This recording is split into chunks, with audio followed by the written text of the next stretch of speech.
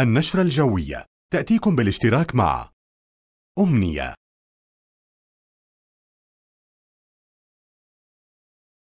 بنك الاتحاد. شكل مستقبلك.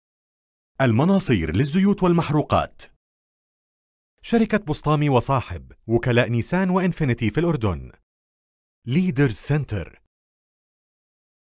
كريم هايبر ماركت. المهنية للاستثمارات العقارية. والسعودي وشركاه للتطوير العقاري. متابعينا الكرام في الأردن أسعد الله أوقاتكم بكل الخير. إليكم نشرة الأحوال الجوية الرئيسية لهذا اليوم. نبدأها هذه المرة بآخر صور. الأقمار الاصطناعية التي أشارت إلى تكاثف كميات من السحب والغيوم التي جزء منها كان من النوع الركامي في المناطق الجنوبية والشرقية. المملكة عملت على هطول زخات خفيفة محلية من الأمطار في المنطقة الشرقية من المملكة. طبعا تأثرت المملكة نهار هذا اليوم بامتداد لما يسمى بمنخفض البحر الأحمر الذي جلب معه ارتفاعا لافتا على درجات الحرارة نشاطا في سرعة الرياح الجنوبية الشرقية وتكاثفا لبعض السحب الركامية في المناطق الجنوبية والشرقية. هذه الفرصة للسحب الركامية تبقى مستمرة معنا خلال ساعات ليلة السبت على الأحد وهناك فرصة لأن تشهد بعض المناطق زخات عشوائية لكنها خفيفة من الأمطار في هذه المناطق. لكن يوم غد الأحد يتوقع أن يتقدم هناك من الأراضي المصرية منخفض جوي خماسيني يؤثر على المملكة. الأمر الذي يؤدي إلى أن تسود المملكة غدا الأحوال الجوية الخماسينية المتمثلة بالأجواء الحارة نسبيا والجافة والمغبرة في مختلف ومعظم مناطق المملكة. لكن يوم الاثنين يتحرك هذا منخفض الجو الخماسيني نحو العراق ويتأثر المنطقة الشرقية عموما للبحر الأبيض المتوسط بتقدم لمرتفع جوي. تقدم هذا المرتفع الجوي سيكون تأثيره معاكسا بالعادة المرتفعات الجوية تتسبب بارتفاع في درجات الحرارة لكن هذه المرة هذا المرتفع الجوي سيكون مرفق بكتلة هوائية معتدلة الحرارة تعمل على عودة درجات الحرارة إلى المستويات الطبيعية لهذا الوقت من العام وبل يوميل الطقس حتى في ساعات الليل الاثنين على الثلاثاء إلى البرودة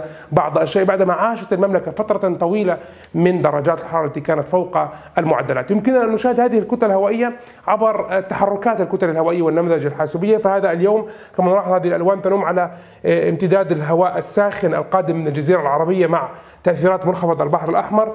درجات الحرارة اليوم فاقت 30 درجة مئوية. في العديد من المناطق. غدا الأحد تبقى المملكة ضمن ذات تأثير الكتلة الهوائية الحارة المرافقة أيضا لاستمرار تقدم منخفض جوي خماسيني لكن سنلاحظ يوم الاثنين هذا اللون الأصفر كما تلاحظوا إذا هذا يوم الأحد هذا يوم الاثنين هذا اللون الأصفر بل والأخضر ينم على وجود كتلة هوائية معتدلة الحرارة وذات درجات حرارة حول المعدلات يتوقع أن تدخل إلى داخل المنطقة الشرقية للبحر الأبيض المتوسط وتؤثر عليها وعلى المملكة بطبيعة الحال أيام الاثنين والثلاثاء بمشيئة الله تعالى.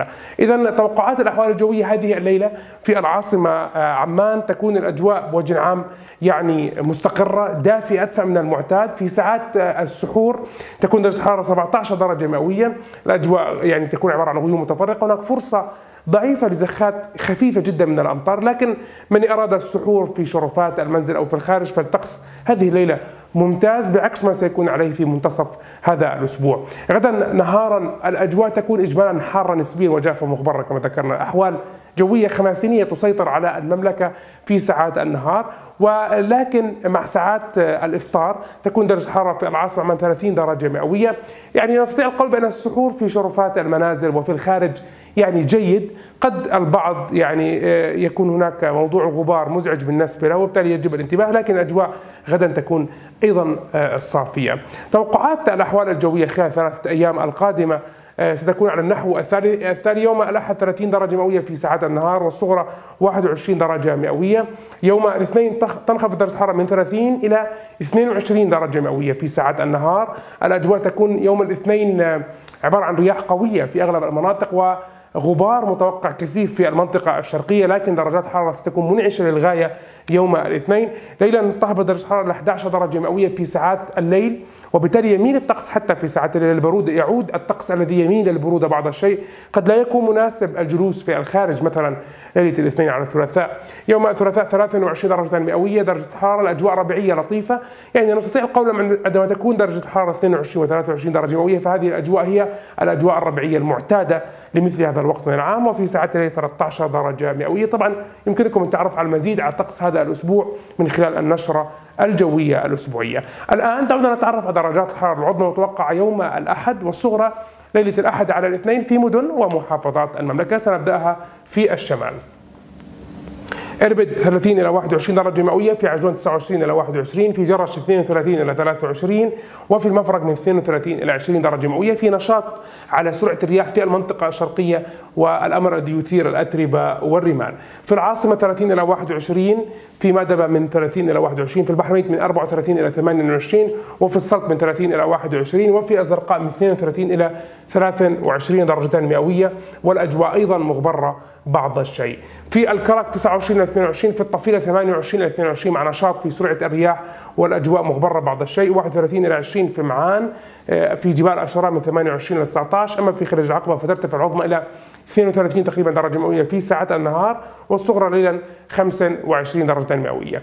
في المناطق الشرقية تكون 37 إلى 21 درجة مئوية. هناك فرصة لأن تحظى المنطقة الشرقية باحتمالية لبعض الزخات المحلية والرعدية من الأمطار في تلك المناطق في الصفاوي من 35 إلى 19 مع أجواء مغبرة ورياح نشطة وفي الأزرق من 36 درجة مئوية في ساعات النهار وغدا 20 درجة مئوية ليلة الأحد على 2 درجة حرارة الصغرى ونشاط في سرعة الرياح وأجواء مغبرة بمشيئة الله تعالى. هذا كان كل ما لدينا بشأن الأحوال الجوية في المملكة. دمتم دائما بخير. إلى اللقاء. النشرة الجوية تأتيكم بالاشتراك مع أمنية.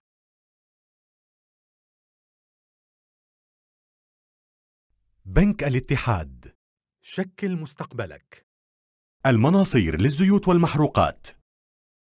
شركة بسطامي وصاحب وكلاء نيسان وإنفينيتي في الأردن. ليدرز سنتر. كريم هايبر ماركت. المهنية للاستثمارات العقارية والسعودي وشركاه للتطوير العقاري.